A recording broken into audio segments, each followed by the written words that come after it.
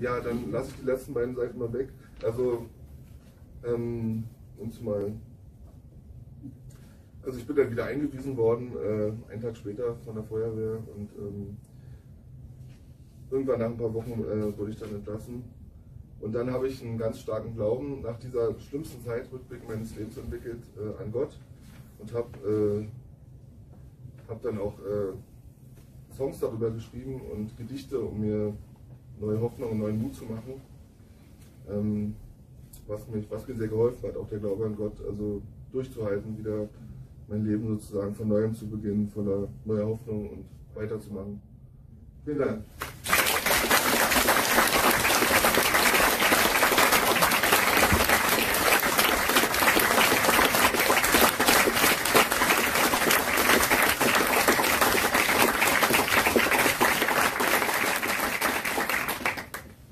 Ganz vielen Dank, Friedemann. Ich bin, ja, mir fehlen irgendwie die Worte. Ich bin so gerührt und auch, ja, auch so voller Dankbarkeit, dass du also so offen bist, uns deine, deine Erfahrung einfach so mitteilst und vom Gefühl her, auch wenn ich jetzt ein bisschen gedrängelt habe, hätte ich gedacht, das hätte für mich jetzt auch noch eine ganze Weile so weitergehen können. Und ich bin mir ganz sicher, dass wir Zeit finden, ähm, das einfach zu wiederholen dir weiter zuzuhören. Und ich bedanke mich nochmal total und freue mich nochmal über nochmal einen richtigen Applaus. Ähm,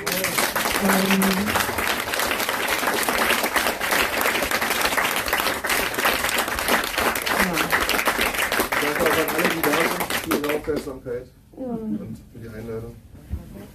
Ja, ganz, ganz vielen Dank, Friedemann ist jetzt fast ein bisschen schwierig, den Übergang zu finden, weil ich finde, ich bin selber so angerührt und es war so emotional und ich erlebe dich und erkenne dich ja auch als jemand, der auch ganz viel Kraft hat. Ne? Du machst ganz viel Musik, du bist ganz aktiv, dazu kommen wir gleich nochmal und denke, dass du so viel mitbringst, ähm, was du einfach tust, was du einfach geben kannst und was du bist.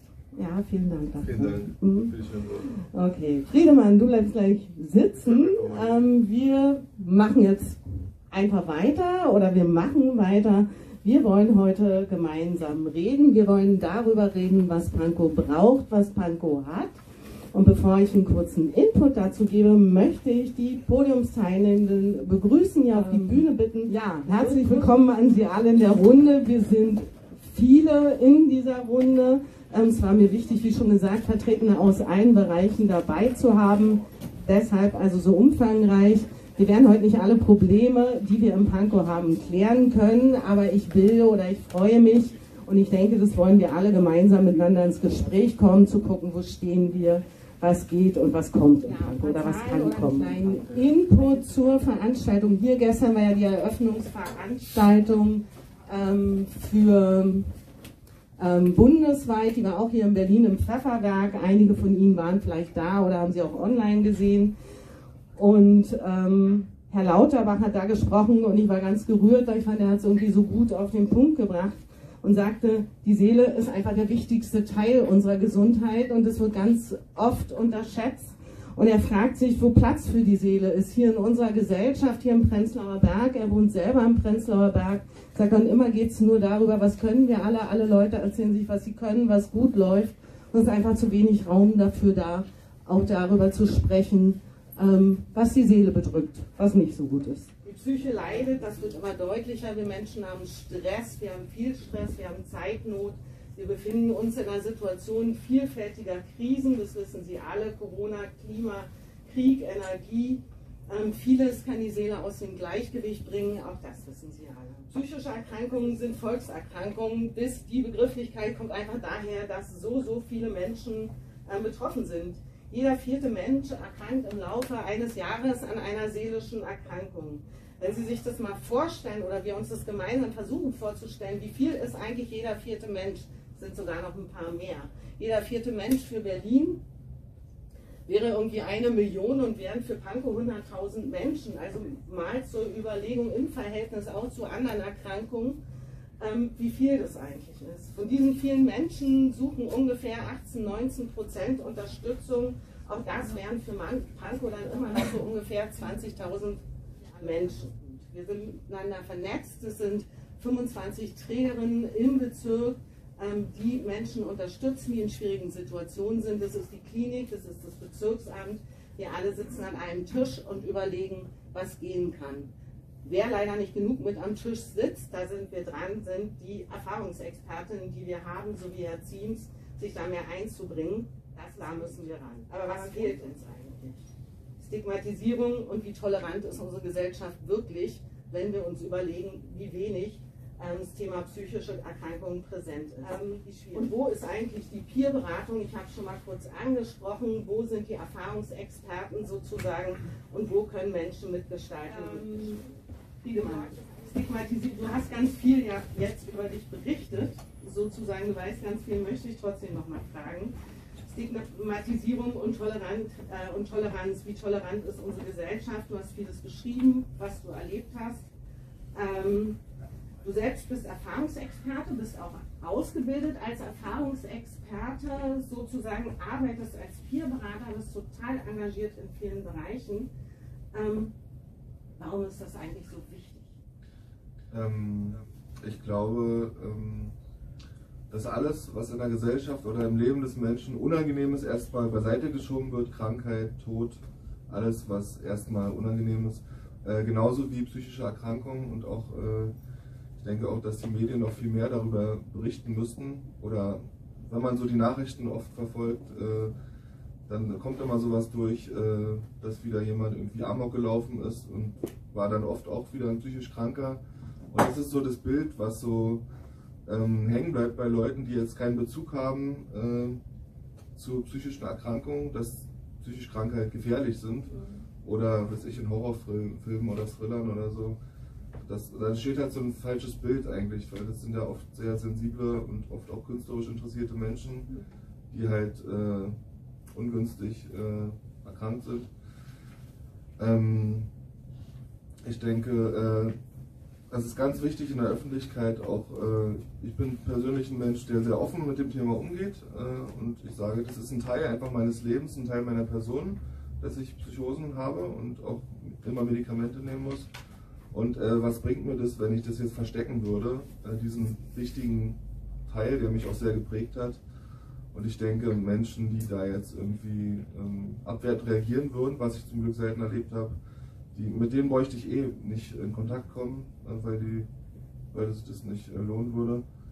Ähm, ja, ich denke, äh, Aufklärung ist eigentlich, äh, also diese ganzen Stigmatisierungen, ich denke, das ist eigentlich ein fehlendes Wissen, weil die Leute entweder selber keine Erfahrung damit haben oder auch nicht genug Leute kennen, die damit Erfahrung haben. Und oft entsteht bei Depressionen so, äh, wenn man das halt nicht versteht, ja komm doch mal aus dem Bett, kann doch nicht so schwer sein oder das so zu überspielen, weil man sich nicht genug einfühlen kann und ähm, ich denke in der Öffentlichkeit aufzuklären über psychische Erkrankungen, ob Psychosen, Depressionen oder Persönlichkeitsstörungen ist ganz, ganz wichtig, äh, um einfach äh, gegen Stigmatisierung zu kämpfen. Ja.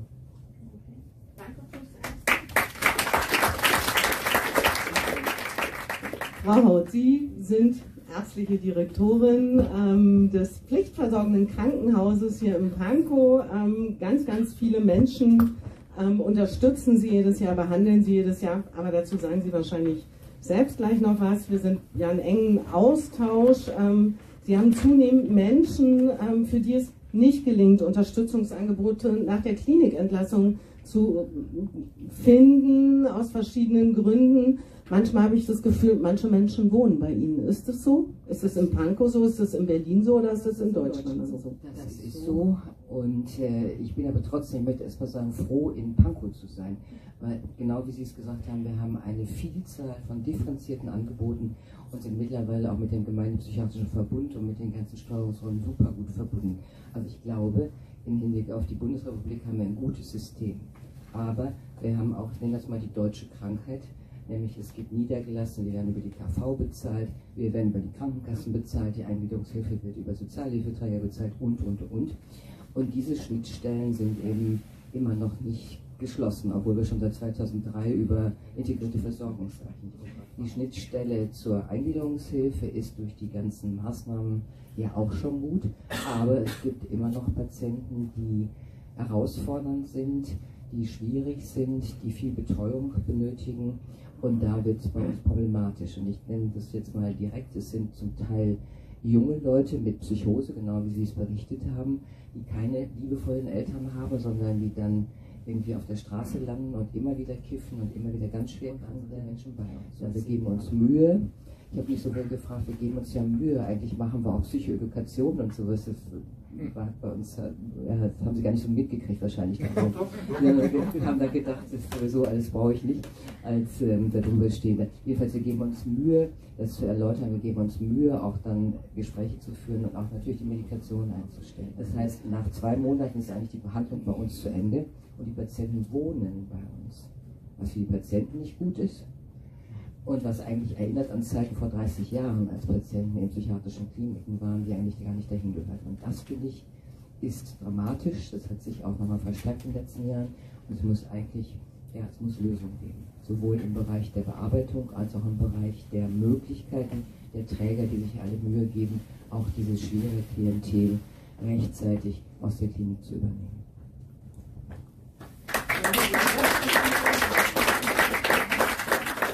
Ähm, Helga, Helga Siefert aus der Kontakt- und Beratungsstelle von Albatros in Pankow. Wir haben ja drei Kontakt- und Beratungsstellen, ähm, die auch eine ganz, ganze Vielzahl von Menschen erreichen und unterstützen. Ich weiß gar nicht, ob das allen immer so klar ist, was da eigentlich passiert. Und ich glaube, ganz besonderer Vorteil ist die Niedrigschwelligkeit. Du sprichst jetzt sozusagen ein bisschen für alle drei Kontakt- und Beratungsstellen. Ich würde dich fragen, was würdest du dir wünschen? Da haben wir schon den ersten Wunsch, ja. Also danke, dass ich auch hier in dieser Runde sitzen darf. Und Vivian, du hast eigentlich mein Intro schon vorweggenommen. Das war jetzt so mein erstes. Es gibt drei Kontakt- und Beratungsstellen im Bezirk. Die Träger WIP, Prenzlkommen und ich vertrete Albatros. Wir sitzen direkt am ONS-Bahnhof. Da gibt es die Kontakt- und Beratungsstelle. Ja, wenn wir von niedrigschwelligen Angeboten reden, heißt das, niedrigschwellig zu uns kann jeder kommen, der findet, ich habe gerade ein Problem. Also ja, was läuft gut? Ähm, wir sind eine KBS, die schon sehr, sehr lange, ich glaube seit 15 Jahren mit Peers arbeitet. Friedemann ist jetzt bei uns im Team und wir schätzen Peerberater so sehr. Vor allem, weil sie ähm, auf Augenhöhe beraten können, weil sie unseren Nutzern, Besuchern ein Modell anbieten. Ja, da ist eben der Peerberater, der eine Depression selber erlebt hat. Ja, und der Betroffene kann gucken, aha, so geht derjenige damit um. Ja? Oder wer ist selbst, wer hat eine Psychose selber erfahren, können wir Profis, ja, habe ich ja keine Ahnung, weiß ich, wie sich's anfühlt. Ja? Und ähm, ja, das ist einfach super hilfreich, wir schätzen euch total. Äh, wir haben noch Juliane Föhr bei uns im Team, die leitet Borderline-Selbsthilfegruppen an. Also das ist ein tolles, toller Bereich, der sich super entwickelt hat. Kontakt- und Beratungsstellen nochmal ganz gut zeichnet vor allem aus das Beratungsangebot, das jedem offen steht. Jedem. Und dann habe ich noch rausgehört, nochmal Lob an Friedemann. Friedemann, kannst, wirst heute gar nicht mehr fertig oder wir werden nicht mehr fertig mit der Loberei. Ähm, wichtig finde ich es aber zu sagen, dass die äh, Kontakt- und Beratungsstellen ja schon Peers beschäftigen. Wir haben da ein Problem, dass äh, inner, auch, auch, bei den Trägern ist es schwierig, Peers zu beschäftigen, weil es keinen Tarif gibt. Zu Ihnen komme ich noch, Frau Haut, ich weiß es. Sie sind Vorreiterin mit der Klinik hier im Bezirk. Sie haben ganz sechs Erfahrungsexperten, die bei Ihnen schon lange arbeiten, ja auch. Ja. Mhm. Aber ambulant haben wir da noch, also da haben wir noch Entwicklungsmöglichkeiten sozusagen. Mitnehme. Und ein Punkt noch, der ganz wichtig ist, Peerberatung überall mit dabei. Friedemann, wie geht's jetzt? War so viel zu hören, so viel hin und her. Jetzt nehme ich dich nochmal an. Ja. Ähm, ja, ich bin auch ein bisschen erschöpft, ehrlich gesagt. Es ist schon anstrengend, lange die Konzentration aufrechtzuerhalten, äh, wenn die letzte Nacht auch wieder nicht ganz so äh, ausreichend war. Aber ähm, glaube, ich bräuchte dann mal langsam eine Pause. Wenn ich ehrlich bin. Das Aber war sehr schön, also auch so viele verschiedene Beiträge zu hören und ähm, gute Sache. Hier. Ja. Auch mit der seelischen Gesundheit. Und ich mag ja so eine Veranstaltung. Man merkt's.